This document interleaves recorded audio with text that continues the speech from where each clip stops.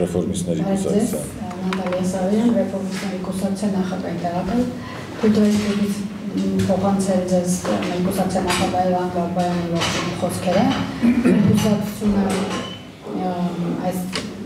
շարժման հիմնադրման օրվանից միացել այս շարժմանը եւ մենք միշտ սատարել ենք բոլոր ծրագրերին, որոնք իրականացան են շարժման շրջանակներում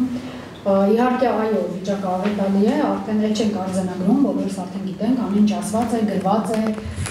գոչած է, լացած է եւ այլն։ Մի ներկություն ընդհանրապես կուզեի շեշտել, սկզբունքորեն եւ հետեւողականորեն Ռուսաստանին փորձում են դուրս մղել բանակցային գործընթացից։ Տարբեր արևմտյան կենտրոններ անդադար շեշտում են, որ ուղիղ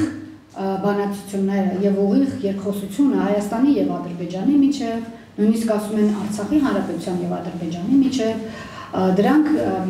հարավային Կովկասում խաղաղության բանալին են։ Սա իհարկե կեղծ օրակարգ է, նման բան չկա,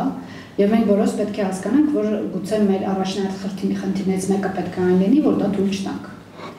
որովհետև ուղիղ կարող են իրար հետ բանակցել Բենելուքսի պետությունները, Ֆրանսիան եւ Գերմանիան, ինչ որ չգիտեմ, իրանց երկկողմանի խնդիրների մասին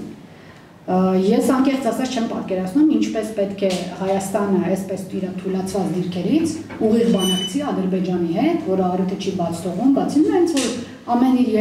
ելույթում Ալիևը ինֆանտիլ կերպով փորձում է նվաստացնի ամբողջ հայ ժողովրդին, երկրորդ նախագահային, երրորդ նախագահային, ովքեր որ իրեն հաղթել են, հա, ուղղակի չեմ պատկերացնում ինչպես դա կարող է պատահել, իսկ Արցախի եւ Ադրբեջանի միջև ուղիղ բանակցությունները ընդհանրապես անհետ են դա